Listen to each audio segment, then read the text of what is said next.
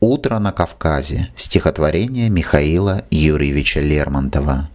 Светает, вьется дикой пеленой, Вокруг лесистых гор туман ночной. Еще у ног Кавказа тишина, Молчит табун, река журчит одна. Вот на скале новорожденный луч Зарделся вдруг, прорезавшись меж туч, И розовой по речке и шатрам Разлился блеск, и светит там и там. Так девушки, купаясь в тени, Когда увидят юношу они, Краснеют все, к земле склоняют взор.